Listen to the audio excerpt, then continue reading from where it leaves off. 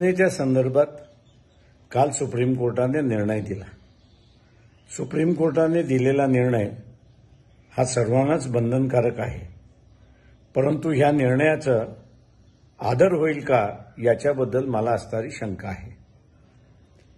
संविधानाने आणि पार्लमेंटने दोघांनीही ही दक्षता घेतली की इलेक्शन कमिशन कुठेही कॉम्प्रोमाइज होणार नाही.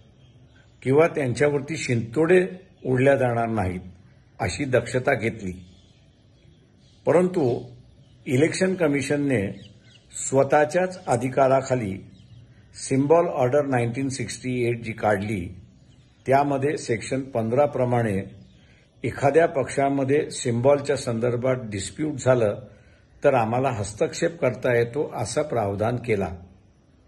पहिल्यांदाच मी असं मानतोय की सुप्रीम कोर्टाला संधी आली होती की सेक्शन पंधरा ऑफ दी सिम्बॉल ऑर्डर हे संविधानिक आहे की नाही याची तपासणी करण्याची परंतु दुर्दैवाने ती तपासणी झाली नाही तर इलेक्शन कमिशनला सेनेचं मॅटर डिसाईड करा म्हणून असं सांगण्यात आलं.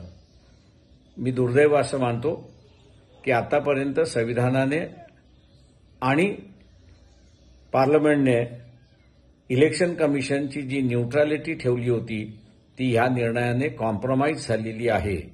आणि यापुढे पक्षाचं डिस्प्यूट हे इलेक्शन कमिशन डिसाईड करेल असा जो संदेश गेलेला आहे हा चुकीचा आहे असं मी त्या ठिकाणी मानतोय. याचं कारण की इलेक्शन कमिशनला आपण फ्रँकनस्टाईन करायला निघालोत का ही दाट शक्यता त्या ठिकाणी येते. आणि म्हणून ह्या निर्णयाचा पुनरावलोकन सुप्रीम कोर्टाने करावा अशी विनंती वंचित बहुजन आघाडी करत आहे.